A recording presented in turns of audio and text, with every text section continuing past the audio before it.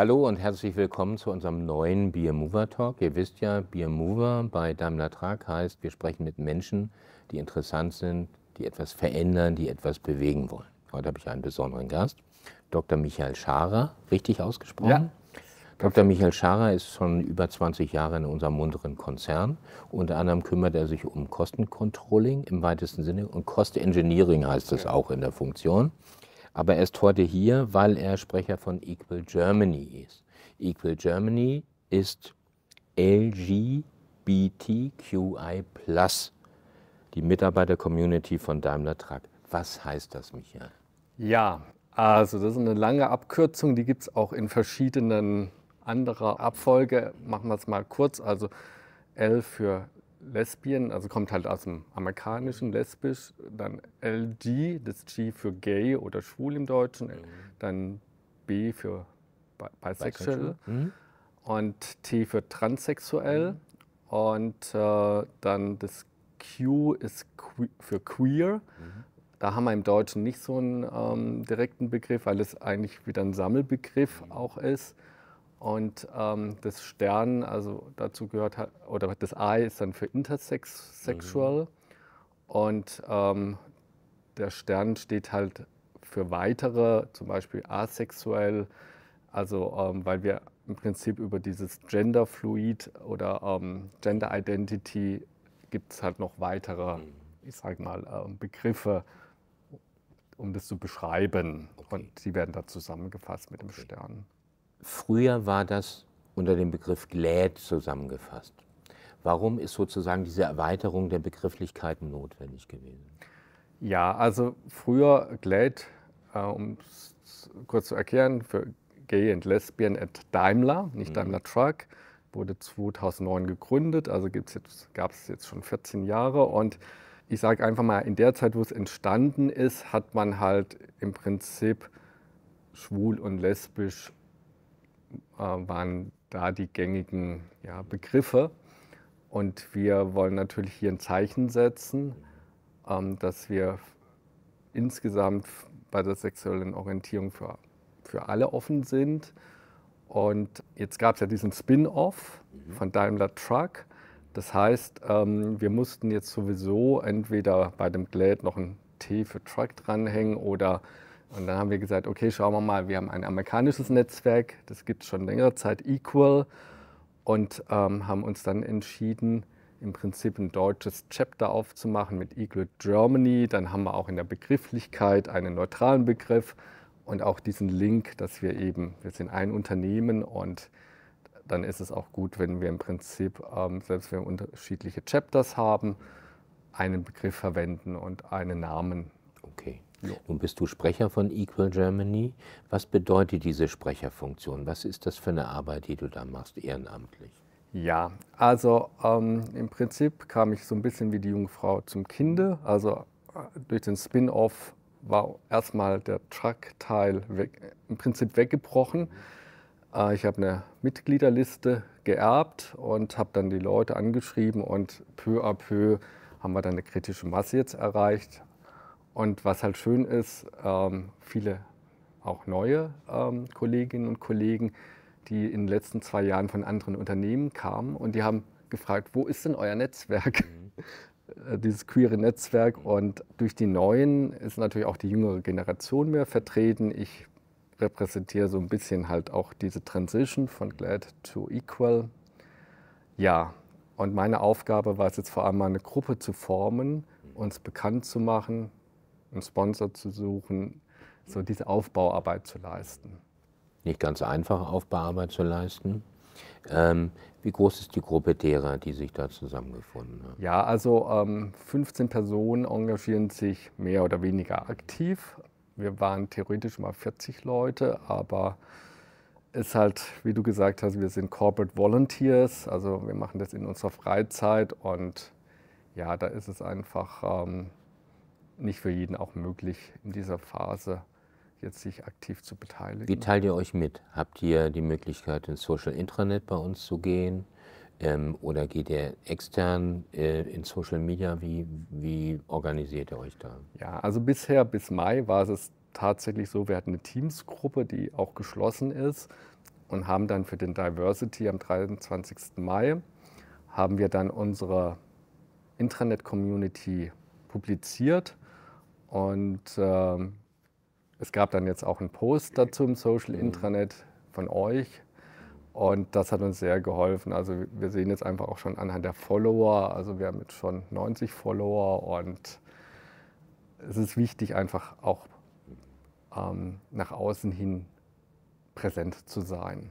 Also nun galt Daimler ja früher als relativ konservatives Unternehmen.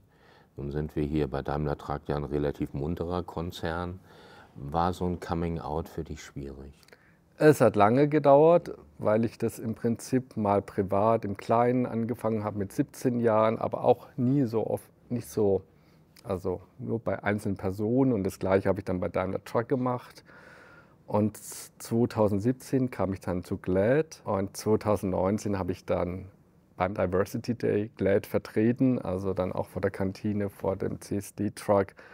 Und dann bin ich auch an dem Tag vorher zu meinem Chef und habe gesagt, ja, ich habe jetzt diese Funktion hier, also da war ich ja kein Netzwerksprecher, aber ich vertrete hier das Netzwerk und ich möchte, dass auch das Team das weiß. Und dann haben wir das auch im Teammeeting morgens angekündigt das war so der erste Meilenstein und jetzt halt durch, die, durch das Social Intranet war ich dann ab, ab dem Spin-off auch in der alten GLAD-Community für alle 100.000 Mitarbeiter sichtbar. Hat es da negative Reaktionen gegeben oder nur positive? Ich muss sagen, eigentlich nur positive. Und man, dieses Coming-out-Thema macht man erstmal für sich selbst. Also man selbst ist vielleicht die größte Hürde aber es entsteht danach eine andere Nähe zu den Menschen, zu den Kolleginnen und Kollegen, weil die dann anfangen, ja, ich hätte doch mal eine Frage oder ähm, also es verbessert die Qualität der Beziehungen. Hm. Wie haben die Vorgesetzten reagiert oder der, der direkte Vorgesetzte? Ja, also das war so eigenartig. Einfach, ne? Tatsächlich, hm. ich habe es ihm gesagt und dann war Schweigen. Es war so 17.30 Uhr und er hat es zur Kenntnis genommen. Und drei Tage später, nach dem Diversity Day, wollte er wissen, wie das war und war für mich wie ausgewechselt, weil ich, für mich war schon komisch, wenn keine Reaktion kommt. Keinerlei. Ja. So wie, mhm. okay. ja, stimmt. Und dann war aber das Interesse da, nachzufragen. Ja, genau. Inzwischen habe ich jetzt einen neuen Teamleiter und ist halt auch eine jüngere Generation. Er, tut, er fragt regelmäßig nach und ähm, stärkt mich da auch. Und er hat mir auch eine positive Rückmeldung gegeben, dass ich ähm, insgesamt sichtbarer sei. Und ich glaube, dass einfach, dass es miteinander zusammenhängt. Also dass mein, meine Sichtbarkeit jetzt als Netzwerksprecher auch ähm, meine Performance beruflich verbessert hat. Okay, nun sind wir im sogenannten Pride Month. Das müsstest du mal erklären, was das bedeutet und warum gerade der Juni Pride Month ist. Gut, also im Prinzip ähm, geht es auf 1990 zurück äh, in, in Stonewall. Da gab es diese Riots, also diese Aufstände und ähm, der Pride Month hat sich halt etabliert also so wie es halt einen Diversity Day gibt, der immer am 23. Mai gibt, hat man im Prinzip diesen Pride Month, sind ja oft auch die CSDs, wobei das jetzt eine ganze, ähm, inzwischen ja schon den ganzen Sommer übergeht, äh, die Christopher Street mhm. Day ähm, Paraden. Aber ähm, ist halt eine Zeit der erhöhten Aufmerksamkeit auf das Thema und wird jetzt natürlich auch in den sozialen Medien ähm, ja, zelebriert ist vielleicht der falsche Begriff, aber eben man zeigt sich halt im Pride Month auch als Unternehmen ähm, da verstärkt, dass man sich um LGBTQIT-Themen kümmert. Mhm. Nun machen manche Unternehmen ja zum Beispiel im Social Intranet, gehen sie auf Regenbogenfarben ähm, ja. und machen das sehr deutlich, aber nicht in allen Märkten. Warum mhm. ist das so? Gut, also wir sind ja jetzt, sagen wir mal, hier jetzt in Deutschland. Daimler Truck AG hat hier den Sitz. Hier ist natürlich, sagen wir, in Deutschland eine äh, insgesamt ähm, eine offene Kultur. Aber man sieht zum Beispiel jetzt, ähm, Nachbarunternehmen hat die Regenbogenflagge ähm, eingefärbt, also Mercedes-Benz auf Facebook und dann kommen halt gleich Hasskommentare. Und ähm, das ist, ist auch in Deutschland halt immer, ist auch noch ein Thema. Und wir sind natürlich auch in Märkten unterwegs oder haben Standorte in Ländern, ähm, wo die, ja, die Akzeptanz noch nicht so weit ist. Und deswegen ist es so ein bisschen zweischneidiges Schwert. Ähm, fährt man die Flagge in Regenbogenfarben, auch die Frage mit Pinkwashing, also machen wir es nur aus Profitgründen. Und da habe ich einfach jetzt ein gutes Gefühl, so wie wir es jetzt machen. Wir zeigen uns, wir sind aber noch dabei, glaube ich, diese neue Unternehmenskultur auch erst zu begreifen oder zu formen. Ja, klar. Aber da gehört ja zu einer modernen Unternehmenskultur auch eine große Offenheit. Ja. So, alles andere wäre ja albern, muss man ja ehrlicherweise sagen. Und hast du das Gefühl, dass wir da in unserem neuen Konzern auf dem richtigen Weg sind? Definitiv. Also ich möchte hier einfach auch mal das, ähm, das Diversity-Team mhm. nennen. Es sind drei Personen, multikulturell besetzt, auch ähm, von den Diversity-Themen mhm. äh, ähm, verschieden. Und die machen einen super Job. Also ohne das Diversity-Team würde ich heute auch nicht hier sitzen. Die haben mich also gerade in der Durststrecke sehr unterstützt, dass ich dranbleibe. Haben auch einfach, wenn es um Infrastruktur oder jetzt um Verbindungen in die Kommunikationsbereiche, da haben die einfach ähm, super auch Verbindungen. Das ist jetzt mal so die Sichtweise Stuttgart, die ich jetzt halt auch hauptsächlich kenne. Ähm, mit den Werken ist sicherlich nochmal eine Herausforderung bei der Unternehmenskultur. Da wissen wir eigentlich noch gar nicht so genau, wo die Werke stehen. Yeah. Aber wir haben ja einen großen Schwerpunkt in Amerika, da glaube ich, läuft es auch schon ganz gut. Ja, und auch, wenn man so auf LinkedIn schaut, auch Daimler Mexiko, sehr präsent gewesen jetzt im Pride Month. Also durchaus, ähm, und das ist ja auch nicht so zentral jetzt, also dass jetzt Equal zentral gesteuert wird, sondern es kann natürlich auch Aktionen an den einzelnen Standorten geben. Kann man das denn eigentlich, du hast ja einen sehr anspruchsvollen Job, kann man eigentlich diese Aktivitäten, die hier ehrenamtlich sind, kann man die, kann man das eigentlich leisten? Oder ist das nicht, wenn man kein großes Team hat, nicht ein bisschen sehr anstrengend, was man da machen muss? Ich kam jetzt schon ein bisschen an Grenzen.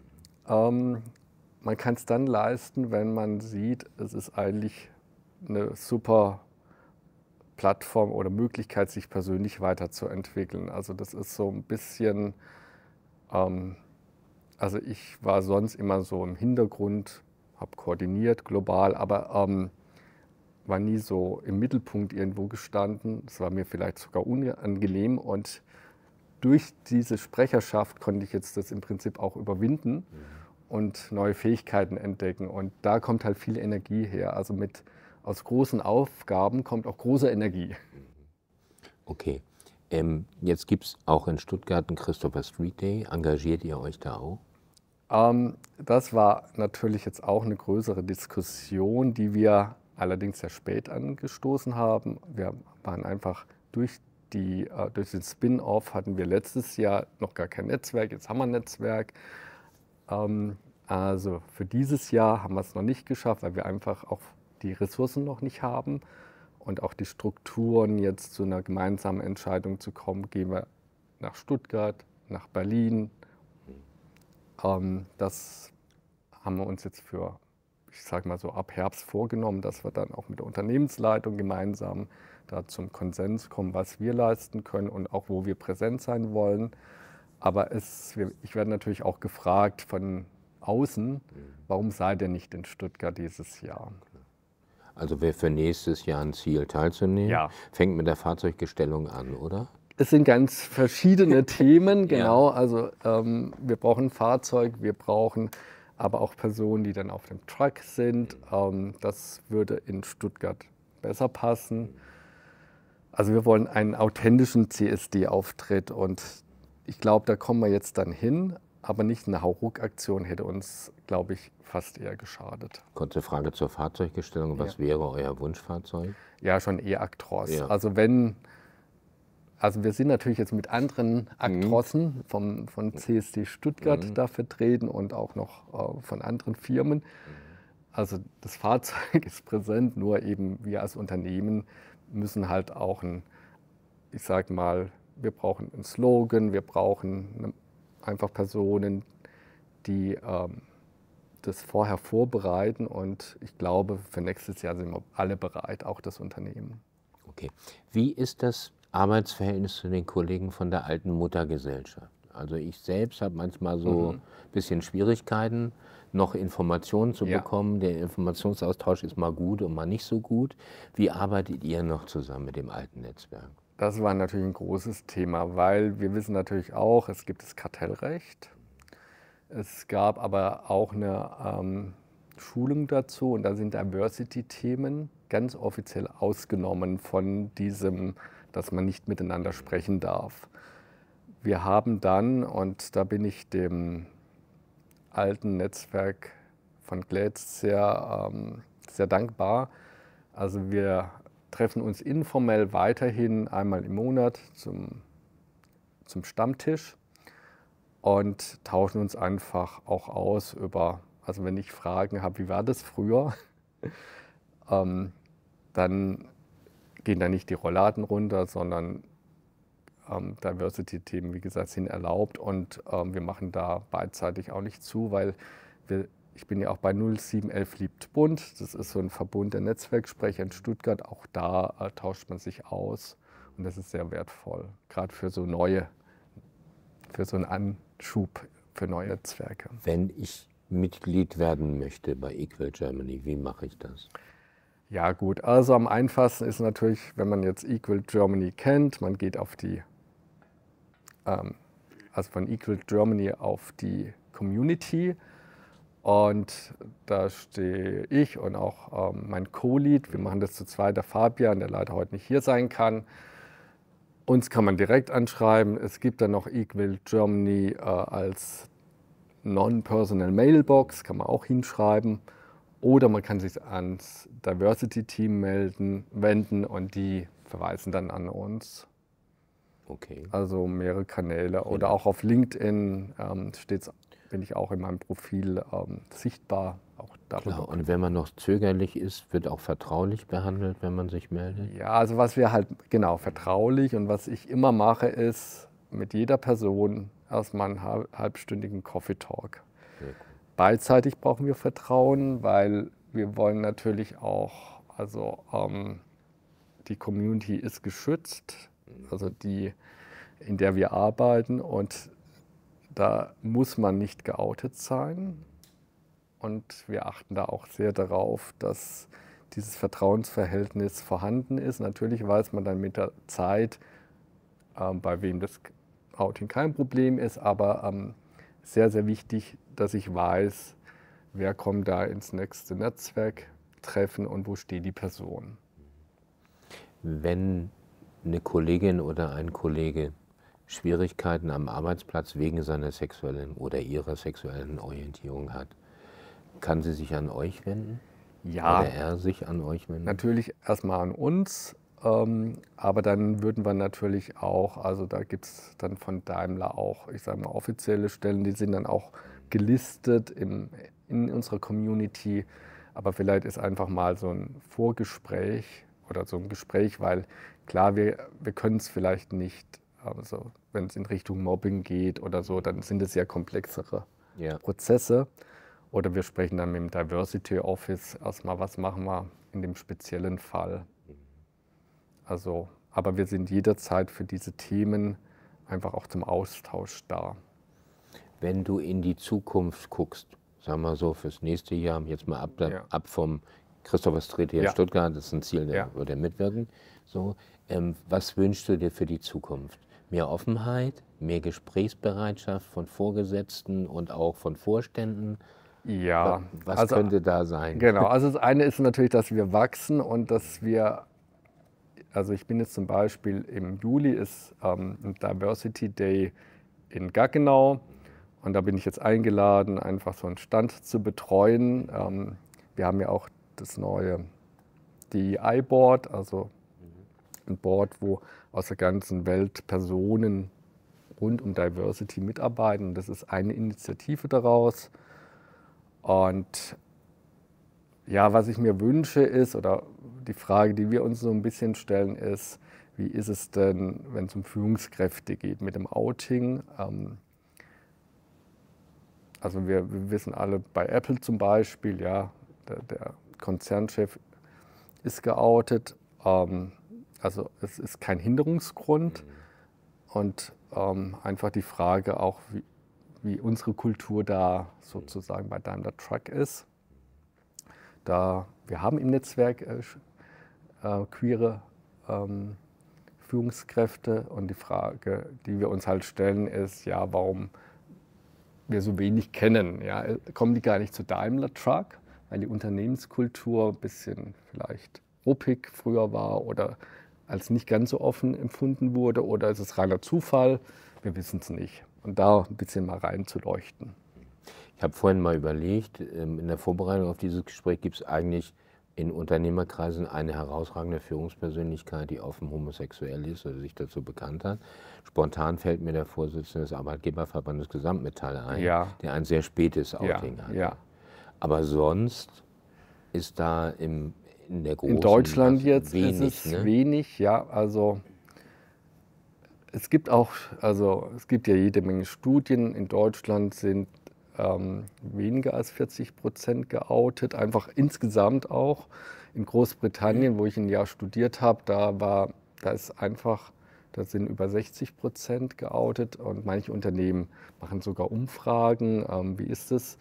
Also oft ist man bei seinem Chef, Chefin geoutet, aber dann halt nur so partiell.